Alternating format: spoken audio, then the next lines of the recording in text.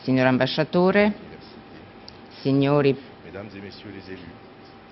presidente dell'università, professori, studenti, signore e signori, benvenuti alla Sorbona. Signor Presidente del Consiglio, la sua presenza qui oggi tra noi è un segno di considerazione al quale, nelle tragiche circostanze in cui siamo immersi dal la 13 communauté novembre, l'intera comunità universitaria di Parigi e dell'Île-de-France sono particolarmente sensibili.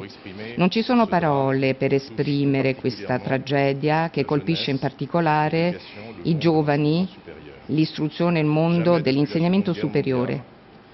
Mai dopo la seconda guerra mondiale le università di Parigi e dell'Île-de-France hanno perso tanti membri in tali circostanze.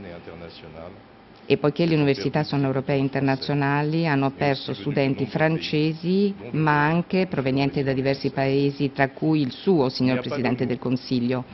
Non ci sono parole. Noi sotterriamo i nostri morti, ma dobbiamo comunque trovare le parole per fare il lutto e riprendere il corso della vita. Dobbiamo trovare parole per dare risposte agli interrogativi di fronte ai quali ci troviamo e lo sappiamo tutti. Le uniche risposte che possiamo dare sono quelle dell'istruzione della cultura, della conoscenza e della ragione di fronte alla barbarie. La sua venuta qui alla Sorbona manifesta il suo attaccamento, che è pari al nostro, alla forza dello spirito. Gliene siamo profondamente grati a nome dell'intera comunità universitaria. Signore e signori, l'omaggio alle vittime degli attentati del 13 novembre prenderà la seguente forma nel corso della mattinata. Innanzitutto un intervento del professore Philippe Boutry, presidente dell'università, rettore dell'università Paribas, a nome degli- delle vittime del 13 novembre, poi interventi della ministra Balou del Cassem e del ministro e del Presidente del Consiglio Matteo Renzi. Adesso daremo la parola al rettore Boutry. Vi invito ad alzarvi e a rispettare un minuto di silenzio in memoria di tutte le vittime degli attentati.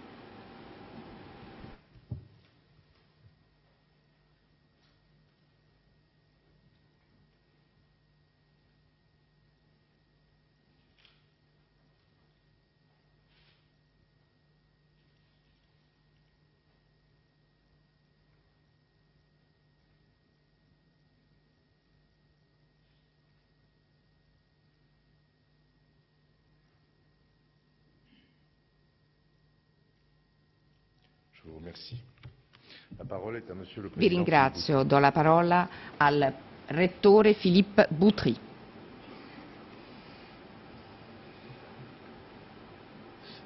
Signor Presidente del Consiglio, Madame la Ministre, Monsieur le Secrétaire d'État, Signora Ministra, signor Segretario di Stato, signor Ambasciatore, signor Console le Generale, Cancelliere, signor Presidente, signor Vicepresidente, signore e signori, professori, cari Le colleghi e colleghe, carissimi studenti e studentesse, il saluto delle tre università che portano il nome di Sorbona, Paris 1, Panthéon-Sorbonne, Paris 3, Sorbonne Nouvelle, Paris 4, Paris-Sorbonne. Sono state duramente colpite dagli attentati terroristi del 13 novembre.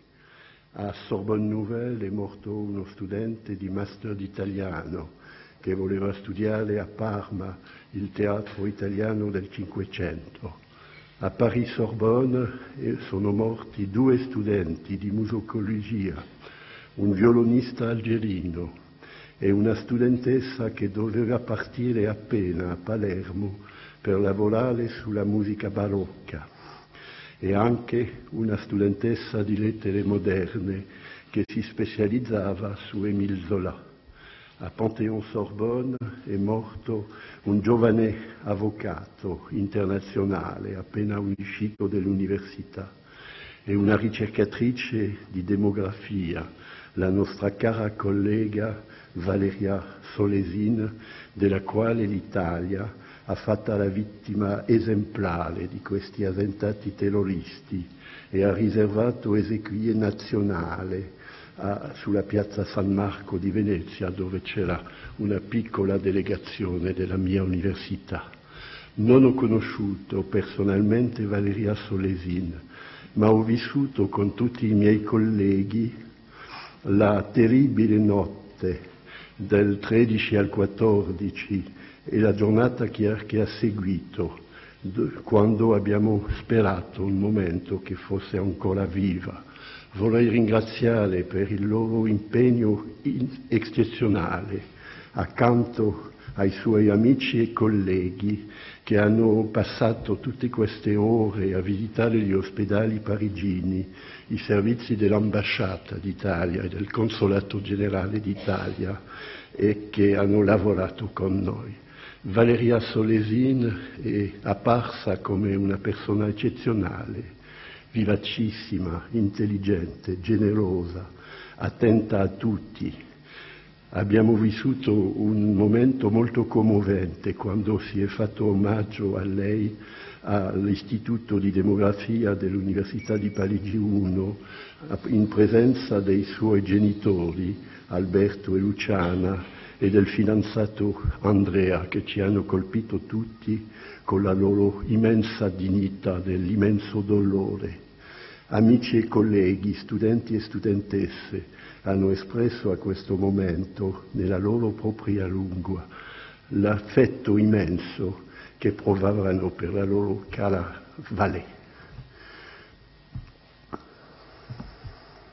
Doveva anche sostenere e discutere la tesi in primavera e eh, lavorava sul lavoro femminile.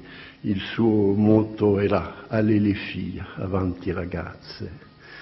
L'ambasciatore Gian Domenico Magliano ha sottolineato nel suo intervento all'IDUP per i studenti, voi, voi, dovete lavorare, voi dovete studiare, voi dovete vivere e questo grido di vita ci sembra importantissimo in questo momento. La sua presenza, signor Presidente di Consiglio, in Sorbona è eh, molto significativa per le nostre tre università l'Italia ci è un paese così caro per la sua civiltà, per la sua cultura, per il ruolo che gioca in Europa. Per tutto questo, signor Presidente del Consiglio, molto grazie, merci beaucoup.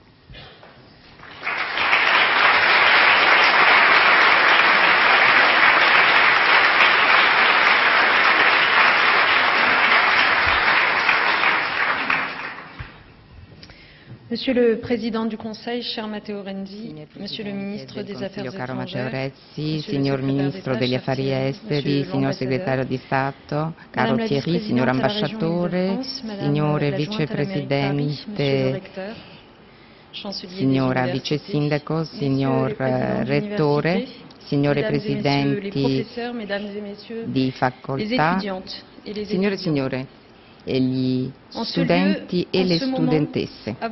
In questo luogo, in questo momento,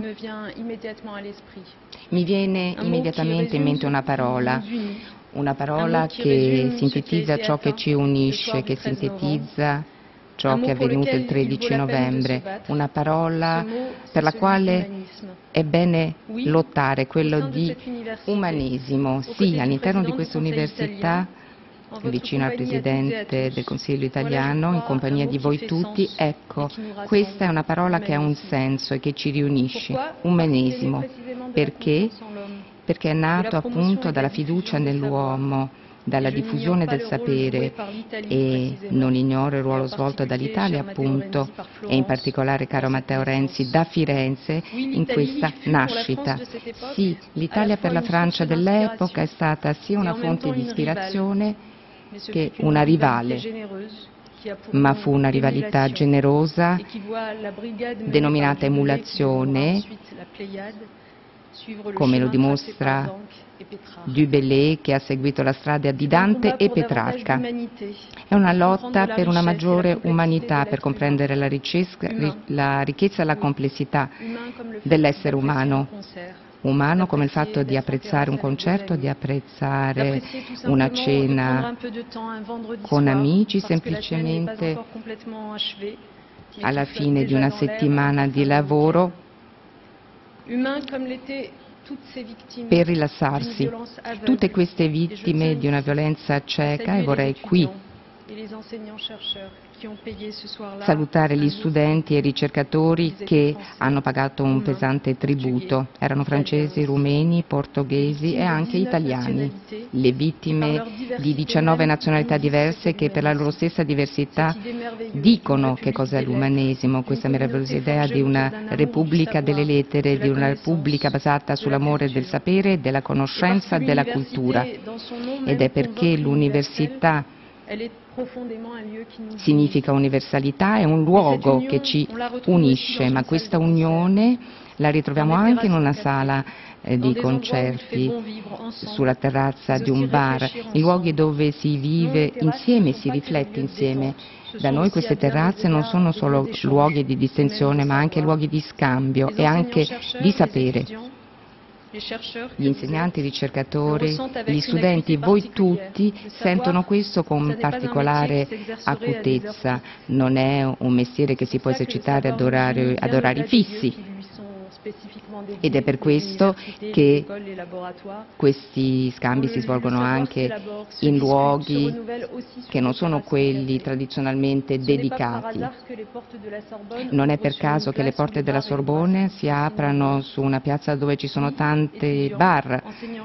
Sì, gli studenti, gli insegnanti, i ricercatori sanno che spesso le ricerche vanno avanti più rapidamente in un bar che non nella stessa università.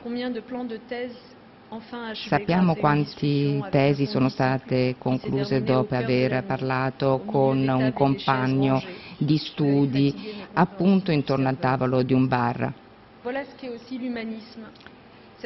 Ecco che cos'è appunto l'umanesimo, questa condizione che il sapere, l'arte, la cultura devono essere vissuti quotidianamente e che non ci si ferma mai di dedicarsi a questo sapere. E quindi il 13 novembre ci ha sconvolti, ci ha commossi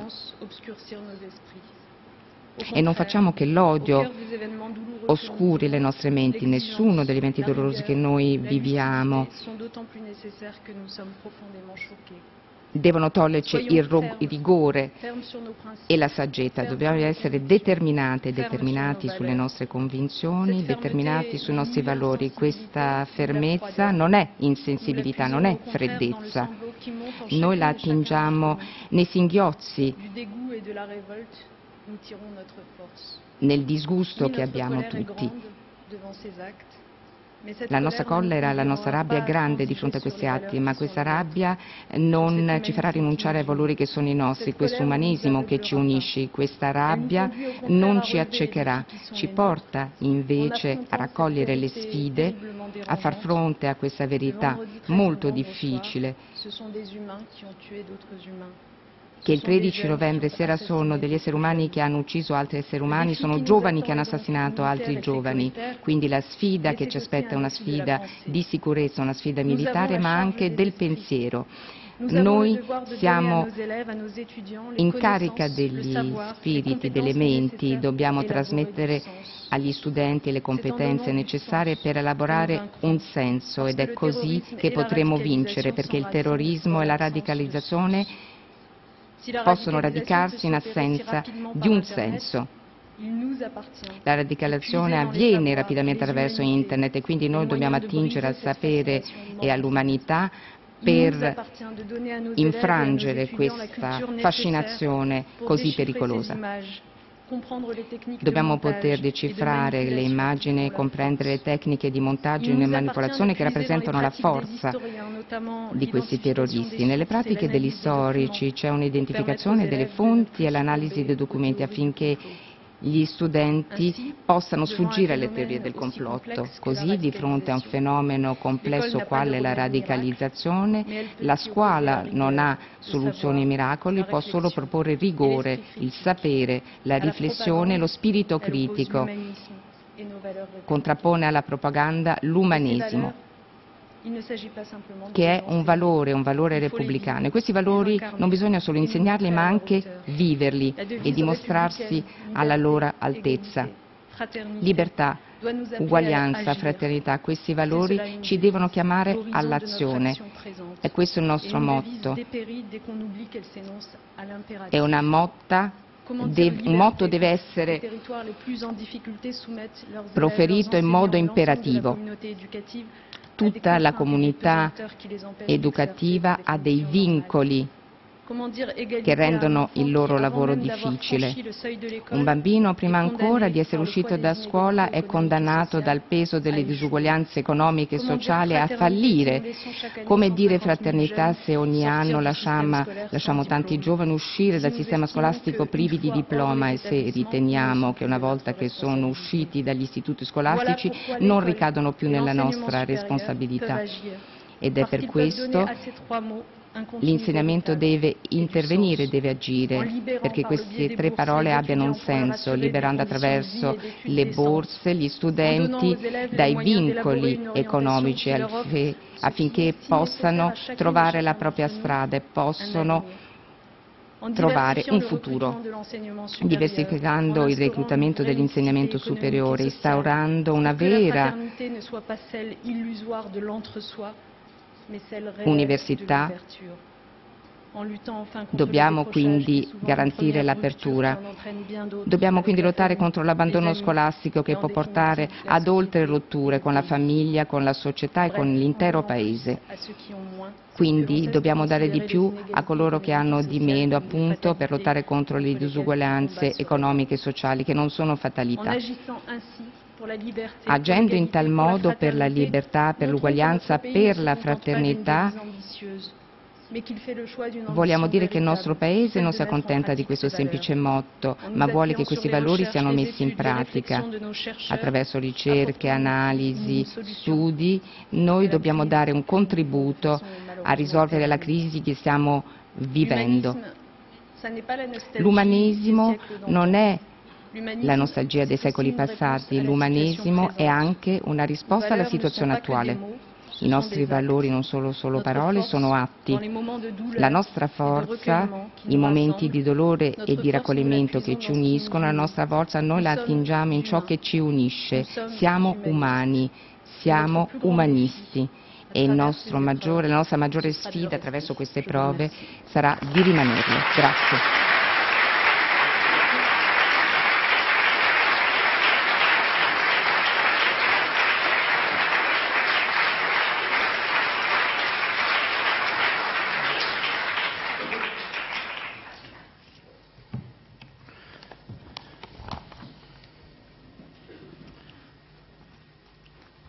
Madame la ministre Vayoud Belkacem, Ministro Monsieur le recteur Belkacem, Monsieur le Président Boudry, Signor Rettore, Signor eh, Presidente Boudry, Ministre italien Paolo Gentiloni, Signori Ministri italiani Paolo Gentiloni, cari professori, cari studenti, signore e signore, dopo il massacro di Charlie Hebdo, siamo di nuovo colpiti da attacchi, dagli attacchi terroristici in questa città, Parigi. Questa volta le vittime non erano delle celebrità, si trattava in gran parte di giovani uccisi in un teatro o in un bar, in luoghi simbolici della convivialità francese e europea. Per gli italiani Parigi non è una città straniera, è un luogo che fa parte della nostra cultura. Il palazzo del Lussemburgo, voluto da Caterina de' Medici, si trova a qualche decina di metri da qui. E poco oltre la casa dove ha lungo vissuto Italo Calvino.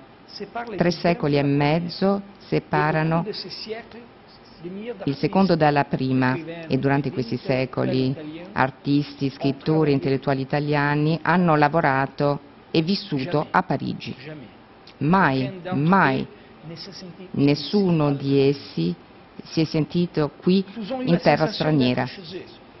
Hanno avuto la sensazione di essere a casa propria, la stessa sensazione che da sempre artisti e scrittori francesi hanno avuto a Roma, a Firenze, a Venezia.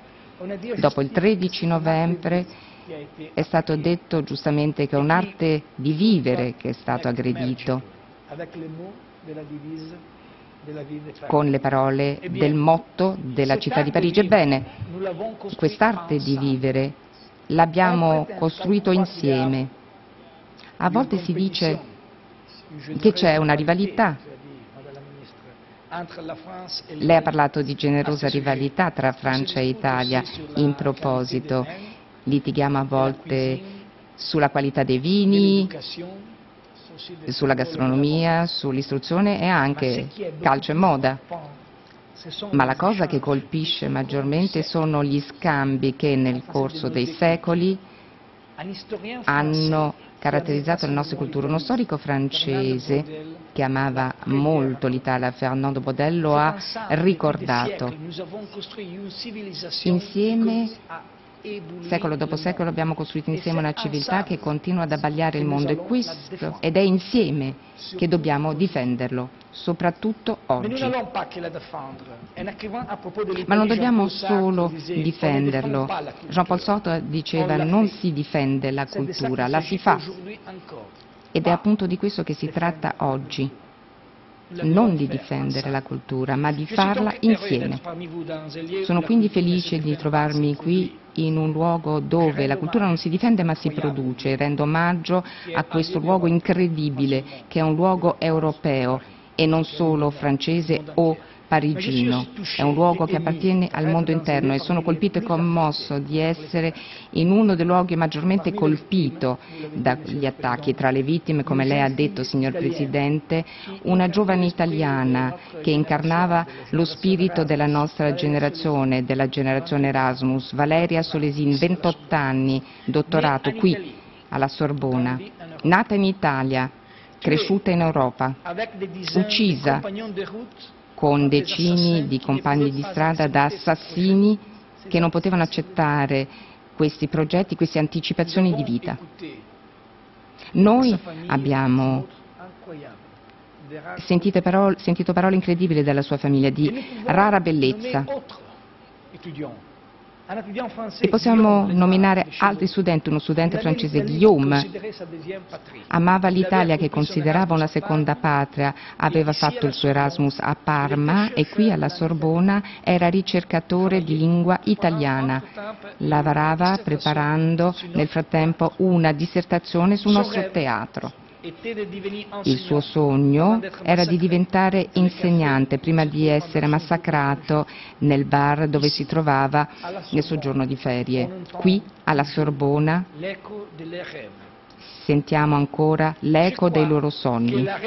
Io credo che la reazione dei governi europei agli attentati di Parigi deve essere molto dura L'Italia è tra i paesi che contribuiscono con maggiore efficacia alle forze di coalizione in Afghanistan, in Siria, nei Balcani, ma oltre a queste azioni militari è chiaro che occorre una migliore cooperazione tra i servizi di polizia e di intelligence degli Stati membri. È una lezione molto dura questa che abbiamo potuto trarre dagli eventi del 13 novembre. Tutti i paesi europei dovranno mettere in comune le risorse necessarie per far fronte alla minaccia terroristica anche se il prezzo da pagare è percepito da alcuni come un sacrificio della propria sovranità nazionale. Credo che il momento sia giunto di accettare questo sacrificio, ma l'uso della minaccia terroristico è amplificato dall'uso dei mezzi digitali che consente ai terroristi di organizzare gli attacchi.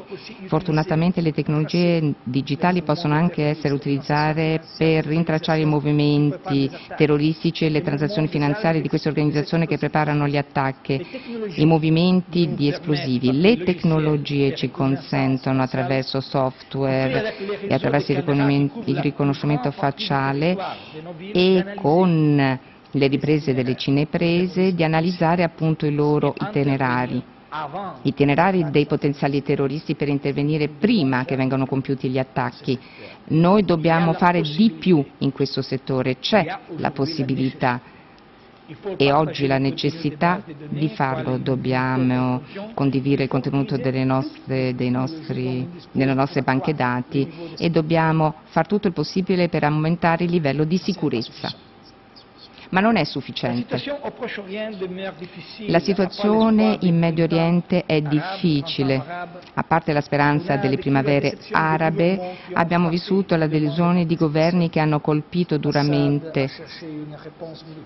Assad ha cercato una risposta militare alla richiesta di libertà. In Iraq nel dopoguerra non c'è stato un nuovo equilibrio tra le varie, le varie componenti della società Altrove ci sono nuove situazioni di crisi che rendono sempre più difficili i processi di pace. In Libia un processo diplomatico è in atto, dobbiamo sostenerlo con i mezzi di cui dispongono l'Unione Europea e la comunità internazionale. L'instabilità sulle nostre coste costituisce una fonte di instabilità. Dobbiamo quindi stringerti tutti insieme per lottare contro le forze presenti nel nostro continente, ci sono dei rischi legati alla crisi economica e finanziaria, ci sono troppe ferite nel tessuto dell'Unione, ci sono degli strappi soprattutto tra le istituzioni e i cittadini. Infine, dobbiamo adoperarci per far fronte alla globalizzazione. Venti anni fa gli analisti politici dicevano che avevamo raggiunto la fine della storia. La Francia e l'Italia, antiche nazioni, sanno bene che la storia non, non finisce mai, che continua con diversi punti di riferimento. Penso che oggi il momento sia venuto di avere la possibilità di avere la possibilità di vincere un'altra sfida importante. Noi sappiamo quali sono i sentimenti, le preoccupazioni e i timori di questi giorni. L'Italia conosce questo senso di spaesamento e di insicurezza che gli attacchi terroristici possono proiettare sulle nostre società. Abbiamo contato le vittime del terrorismo politico negli anni 70 e 80 e quelle del terrorismo mafioso alcuni anni dopo. Abbiamo adottato misure eccezionali per reprimere le attività terroristiche. Abbiamo, siamo riusciti a tagliare i legami di affiliazione delle organizzazioni terroristiche, ma questo per me è un punto cruciale. Ancora più della risposta del governo e la reazione della società italiana che ci ha consentito di contrapporci a questa minaccia per vincere il terrore bisogna prima vincere la paura. e quindi sono le reazioni degli operai e degli studenti che ha creato il vuoto intorno ai terroristi negli anni 90, è stato il ruolo della società civile che ha soffocato la mafia. Si tratta di far capire a quelli che sono affascinati dall'ideologia terroristica che non c'è una solidarietà possibile in questo senso ed è il motivo per cui tutte le comunità, in particolare quella dell'Unione Europea, deve condannare senza ambiguità gli attacchi. Questo è necessario e giusto perché la lotta al terrorismo non ammette esitazioni. Si dice che la nostra vita non deve essere pervasa dal terrore, che dobbiamo portare avanti la nostra vita la paura è un sentimento normale, ma non deve farci perdere la nostra umanità, è stato detto ultimamente, ma dobbiamo continuare a dirlo. Io ho deciso di dirlo dall'aula Orazzi e Curiazzi. È l'aula di Roma in cui 58 anni fa sei paesi, la Francia, l'Italia, il Lussemburgo, il Belgio, la Germania e l'Olanda hanno firmato i trattati istitutivi dell'Europa e sono, ho deciso di andare in questa, quella stessa sala per lanciare il messaggio che noi non accettiamo. Tutto ciò e quindi come governo italiano abbiamo deciso di fare un investimento importante in materia di sicurezza, ma anche in materia di cultura e di istruzione. Per ogni euro aggiuntivo speso per la sicurezza dobbiamo investire un euro per la cultura. La risposta al terrorismo deve essere una risposta di sicurezza, certo, ma al contempo deve essere una risposta culturale ed educativa. Dobbiamo occuparci di sicurezza, ma non dobbiamo rinunciare alla nostra identità, come lei ha detto giustamente, signora Ministro. E quindi dobbiamo chiamare l'innovazione nella cultura, nell'educazione. Per ogni investimento nelle forze di polizia ci deve essere uno sforzo maggiore di integrazione. Per ogni caserna ristrutturata dobbiamo creare musei più accoglienti. Per ogni investimento nella sicurezza un euro deve da essere dato allo sport, ai bambini, alle scuole. I soldi dedicati alla sicurezza diventeranno un investimento solo se noi sappiamo che stiamo difendendo la nostra identità, identità che è un'identità basata sul pluralismo e sul dialogo. Ed è questa che la risposta darà e deve dare l'Europa. Dobbiamo continuare a rivendicare il nostro diritto a vivere come cittadini europei, donne e uomini liberi, con la loro socialità e la loro fiducia nei valori democratici. Alle le FI, avanti ragazze, come avete detto a proposito di Valeria, e penso che sia importante per le giovani che si trovano in questo continente ma in tutto il mondo. Credo che sia giunto il momento per un nuovo protagonismo delle donne nella politica, nella società e dobbiamo dare come Francia e Italia l'esempio di questo messaggio che è un messaggio cruciale per il futuro, per il futuro dell'essere umano. Il 13 novembre i terroristi hanno colpito i valori dell'Occidente, volevano toglierci i nostri punti di riferimento, hanno ottenuto esattamente il contrario. Sono felice di essere qui perché questa università è tra le più antiche del mondo con Bologna, Oxford e Cambridge. In quanto Chiesa laica dei valori occidentali è sopravvissuta dopo anni di conflitto, di guerre, di devastazioni, questi muri sono sempre stati solidi, invulnerabili a qualsiasi minaccia oscurantistica, perché il dialogo, il dialogo tra le culture è il miglior antidoto contro la barbarie. e le università ci impongono di essere efficaci nella difesa della libertà e della pace. Sì, l'università è un avamposto per la difesa delle libertà e della pace. Sono anche le culle della nostra identità europea e quindi non bisogna aver paura di aprirsi alle idee degli altri che rispettano le regole di convivenza civile. Investire sull'identità europea significa oggi non solo seguire regole, le regole burocratiche di Bruxelles, ma rafforzare il sistema immunitario della nostra società contro le minacce dell'integralismo. Lei, signora Ministra, ha parlato di umanesimo. L'umanesimo, abbiamo potuto vederlo, è concepito per far fronte alle incertezze, per evitare che la crisi e la violenza si trasformino in una regolamentazione politica e culturale, è soprattutto una forma di resistenza. E oggi questi valori sono quelli che dobbiamo recuperare. Se vogliamo nuovamente trasformare una minaccia terribile in un'occasione, in un'opportunità per una maggiore cultura, una maggiore creatività, una maggiore civiltà. L'umanesimo si è sviluppato in tempi di crisi, non in momenti floridi. L'umanesimo si è sviluppato in momenti di crisi, sì. Abbiamo questa immagine idilliaca degli umanisti che passeggiano tranquillamente nei giardini di Firenze, ma è un'immagine falsa. In realtà la prima volta che Petrarca e Boccaccio si sono incontrati a Firenze, la città era in preda alla prima crisi finanziaria, finanziaria dell'epoca. e della peste. Quindi è interessante vedere che l'umanesimo è la risposta a queste situazioni di difficoltà.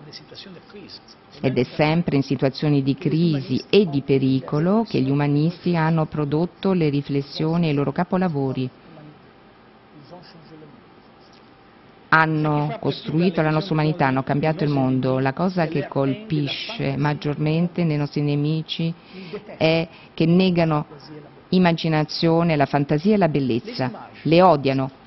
Le immagini su internet sono quelle di persone che insegnano ai bambini ad odiare la musica, a odiare la musica, a detestarla. Una delle scene più marcanti di Timbuktu, il film di un regista che lavora a Parigi, è quella in cui un gruppo di bambini gioca a calcio senza pallone, perché gli integralisti hanno vietato qualsiasi tipo di gioco, compreso il calcio. La musica, il teatro, il pallone, il calcio, ed è per questo motivo che qualsiasi risposta agli attacchi deve contenere ah, diversi ingredienti. La sicurezza certamente, è chiaro, è ovvio, ma anche la cultura, l'educazione, l'istruzione. Non è possibile vincere solo con la sicurezza. Ed è per questo che ho annunciato questo investimento, un euro per la sicurezza e un euro per l'istruzione. Contro il terrorismo dobbiamo potenziare i dispositivi di sicurezza, ma dobbiamo ricordarci quali sono i valori occidentali, i valori del mondo intero, che sono i valori in cui noi faremo un investimento per il futuro ed è esattamente per questo motivo che prima di venire a Sorbona sono andata in università statale, quella di Bologna, poi sono stata alla, a Humboldt, a Berlino, in Cile e altrove. Ho deciso di andare in Kenya perché sono stato colpito da ciò che è venuto a Gadissa. Molti studenti sono stati uccisi dall'integralismo e dal fanatismo. Ho incontrato centinaia di studenti che dicevano no alle tentazioni terroristiche e avevano scelto la via della crescita nella cultura. In Cile, in Cile gli studenti dicevano con la loro presenza mai più la dittatura. Oggi qui alla Sorbona dobbiamo dire che noi vogliamo resistere a qualsiasi minaccia esterna e siamo equipaggiati per resistere contro qualsiasi attacco e siamo pronti a lottare insieme per la libertà. Io penso che noi dobbiamo oggi avere il desiderio di continuare non solo a lavorare al di, fuori, al di fuori dei nostri confini nazionali, ma anche delle nostre città. Io penso a quartieri metropolitani nelle grandi città della nostra Europa che sono oggi diventati incubatori di odio. Di fronte alla tragedia del 13 novembre dobbiamo interrogarci sulle cause, sulle motivazioni profonde che hanno trasformato giovani europei in macellai senza pietà né per gli altri né per se stessi. Io sono stato colpito dall'immagine di quella giovane donna che è morta durante l'intervento della polizia a Saint-Denis. Guardando il suo profilo Facebook si vedono personalità diverse. Quando era piccola, un cowboy, una terrorista che porta il velo. Quindi due persone, due personalità contemporaneamente, come se ci fosse stato un momento preciso, un momento in cui questa giovane donna non ha cercato più risposte nell'ambito della convivenza civile e ha pensato di trovarlo nel fanatismo. Eviterò qualsiasi malinteso. In quanto responsabile politico io rivendico il diritto per lo Stato di difendere i propri cittadini a qualsiasi costo utilizzando qualsiasi mezzo senza cedere alla tentazione di un'apologia sociologica a basso costo. Tuttavia, in quanto cittadino, io stesso devo interrogarmi sulle cause per le quali alcune persone nate in periferia, nate nelle bidonville, che hanno studiato nelle nostre scuole, che hanno giocato nelle nostre strade, hanno potuto trasformarsi in automi armati. Perché? Perché tutto ciò? Dopo la carneficina dobbiamo andare alla radice stessa di questo male, di questo dolore, dobbiamo analizzare le cause per poter far fronte al nostro futuro di umanesimo e solidarietà. Dobbiamo trovare la possibilità di rispondere esattamente qui e rispetto agli studenti del passato e quelli attuali, il male di cui non ci si rende conto sono i mali più pericolosi.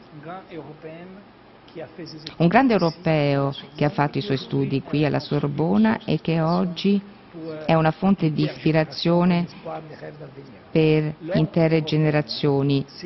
L'uomo europeo si è nutrito di future. La mancanza di prospettive è una fame dello spirito, è una malattia e come ogni malattia deve essere curata prima che si possa diffondere nella società.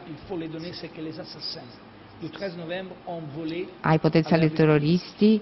bisogna dare ciò che gli assassini hanno rubato alle proprie vittime il 13 novembre, un futuro in cui vivere insieme. Francesi, italiani, europei. L'Italia e la Francia sono grandi paesi che tutti conoscono e amano come fattori di cultura e portatori di speranze. Dobbiamo oggi più che mai essere all'altezza della nostra storia. Lo faremo lo faremo anche grazie a voi. La Sorbona rappresenta la reale grandezza di ciò che è l'Europa. Farne valori di educazione e ideali. Sono felice di aver potuto esprimere qui la parola del governo del popolo italiano in memoria di Valeria, di Guglielmo e di tutti gli studenti e gli insegnanti uccisi dal terrorismo, vi propongo di assumere qui tutti insieme un impegno solenne. Noi non rinunceremo mai ai nostri ideali, non rinunceremo mai alla nostra identità, noi non rinunceremo mai a vivere liberi, a vivere. La Sorbona ci insegna che la cultura è più forte dell'ignoranza e soprattutto la nostra cultura ci insegna che la bellezza è più forte, sempre più forte della barbarie. Viva la Francia, viva l'Italia!